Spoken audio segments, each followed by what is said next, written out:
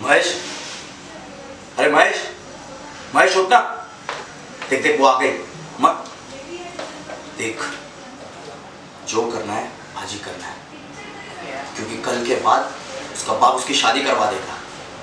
जिस तरह भरे बाज़ार में उसने मेरी इज़्ज़त को जो तमाचा मारा है ना तेरा सूद समेत लौटाना तो पड़ेगा।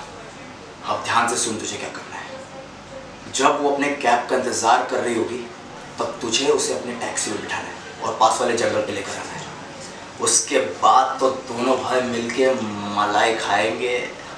क्योंकि उसे भी तो पता चलना चाहिए ना कि उसने पाला किससे पड़ा है।